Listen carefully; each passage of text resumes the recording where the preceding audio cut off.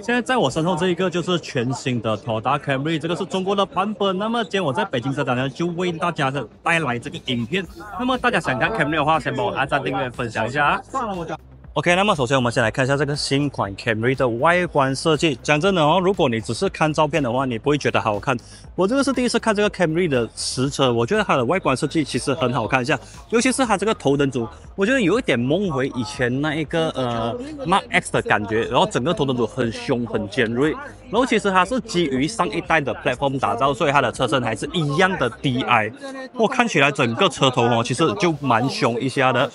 当然也因为这样子的设计风。格呢，喜欢的人会很喜欢，不喜欢就很不喜欢那哈。如果如果你喜欢这个外观设计嘛，喜欢的话，你可以在影片下面留言给我知道。然后有一个特点就是你注意到它前面有一个黑色的 Piano Black 吗？其实这一个就是它的这个 SCC 的雷达。就这辆车其实就是支援这个完整的先进主动安全配备。如果是讲现在的车子没有这些功能的话，基本上就是没有人会买了。我相信你应该也赞同。OK，在这个轮圈的部分呢，它这个轮圈的设计，我觉得其实就比较普通一点那的话配来的是固特异的轮胎。然后它的尺寸我看一下哈，我找不到它的尺寸，它尺寸是二三五四五 R 十八，OK，R 十八没有到太过分，所以对于这个车辆的这个舒适性呢，应该是还不错的。因为 Camry 一直以来都是以舒适性为主打嘛，但是在 SV 七十的时候啊，它就有一个比较好的操控表现。听说这一代进步很大，所以我也蛮期待一下它进马来西亚时候的表现。然后你可以看到上面写着 HEV。因为现在呢，Toyota 的这个 Hybrid 呢都换了一个新的 logo，以后写着这样子 HEV 的就是 Hybrid 车型。在中国市场呢，他们是有提供这个2.0公升的混合动力引擎，还有这个2.5公升的混合动力引擎的。如果是2.5公升的话，我们也知道它的最大马力表现可以到两百三十二 HP。如果以一台 D segment 来讲的话，这个动力表现基本上还是不错的。OK，这个就是全新一代 Camry 的尾灯组设计，这个颜色肯定偏蓝，因为上面它的灯打开蓝色，所以不好意思啊。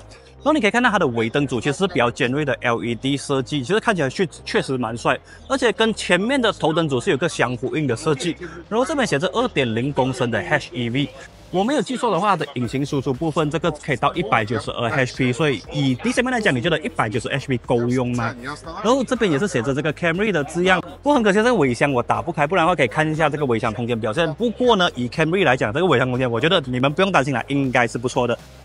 OK，这个就是全新一代 Camry 的内装设计，但是这个是中国版的。可是我觉得我需要花点时间去跟大家讲一讲，因为这个内装我自己觉得是太好看了。首先呢，它的这个材质的部分，我这个非常的细腻，这个是一个很滑顺的设计。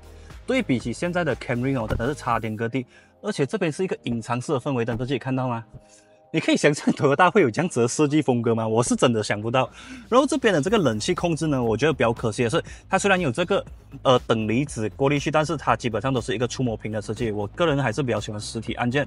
然后这个中央的触屏主机呢，它是一个八一五五的处理器，这个同样的也是跟美国版本不一样啦。所以我相信我们其实还是会跟美国版本的比较多。但是这个处理器我自己看起来，它视觉效果真的是蛮爽一下的。而且这你看，呃，我给你看它的功能表，它的流畅度基本上都不错。你可以想象啊，这个是头大的特技头大车机竟然有这样子的这个体验效果。不过因为它是中国版本的关系，所以它是不是有 Android Auto 跟 Apple CarPlay 的？不过相信如果以后是国际版本的话，应该会有这个东西。然后再往前面看的话，这个是一个数位化仪表，同样的这个数位化仪表也非常的好看，然后也非常的高清。对比起目前 Toyota 旗下其他的出品那个数位化仪表呢，我觉得这个数位表完全是吊打他们，只是很可惜前面诶，前面是有抬头显示器的，只是我看不到。所以基本上这辆车的配置还不错啦。我要称赞的就是它的做工真的蛮好，这个软质塑胶皮革跟这非常丝滑的面板，真的是超赞。然后这边也是有手机的无线充电基座，然后这个置杯架。然后这个排挡杆就比较普通一点点，然后这个方向盘的设计基本上也是从这个 Toyota Crown 来的，然后前面有个侦测器，就是这个驾驶疲劳者侦测啦，就是如果它侦测到你可能疲劳的时候，还会给你个提醒等等。然后整体来讲，这个内装设计，诶，我纯蛮喜欢的，我会给到八分五嘞。因为你们喜欢这个内装设计吗？